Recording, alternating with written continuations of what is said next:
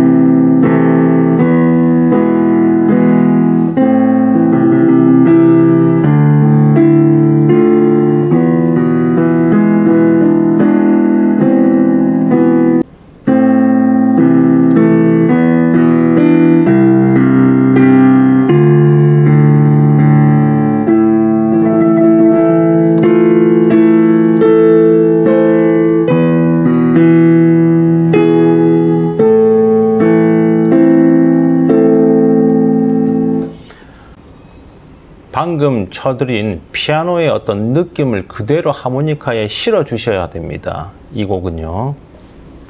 아래에 하모니카 A 위에 C, C샵. 보통 이렇게 잡습니다. 이렇게 부채살 펴듯이 한번 잡아보시죠. 자, 이게 하모니카 세 개를 잡는 방법입니다. 보통 아래에 이 새끼 손가락이 걸쳐져야 됩니다. 자, 걸쳐져야 됩니다. 그리고 오른손 엄지손가락은요, 약간 대각선 방향으로 하모니카를 잡으셔야 돼요. 너무 이렇게 일직선으로 잡지 마시고요. 예. 맨 위의 고음과 맨 아래의 저음은 잘 사용하지 않는 구간이기 때문에 이렇게 잡아주시면 됩니다. 그리고 왼손은 살짝 이렇게 걸쳐 놓는 느낌. 이 방법입니다. 이 노래는 앞서 말씀드린 것 같이 C샵이 꼭 필요하기에 하모니카 3개를 잡는 겁니다. 저 개인적으로는 하모니카를 3개를 잘 잡지 않습니다. 하모니카 때문에 얼굴이 반 이상 가려지죠. 자, 이건 무대 매너에서 굉장히 안 좋은 거거든요. 저, 저 같은 경우는 어, 전통 음악을 전공한 사람이기 때문에 이런 무대 매너라는 것도 공부를 합니다.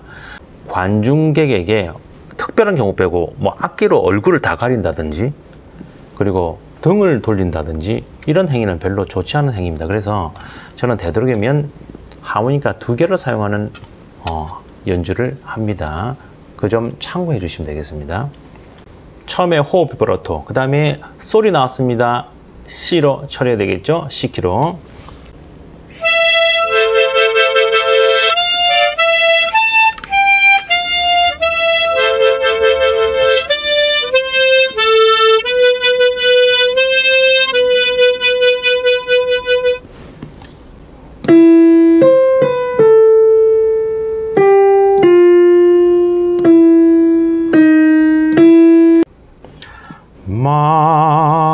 만나 나른 하득 이렇게 넘어가죠. 자, 이 선율을 잘 생각해서요.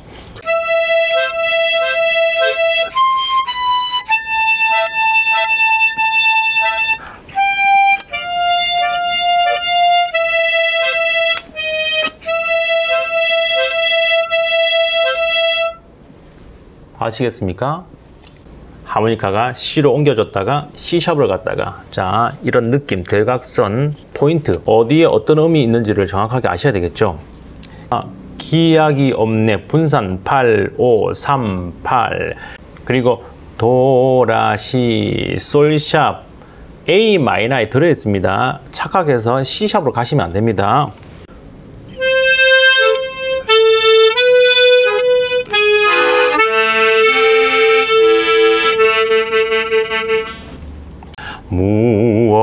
마음과 마음을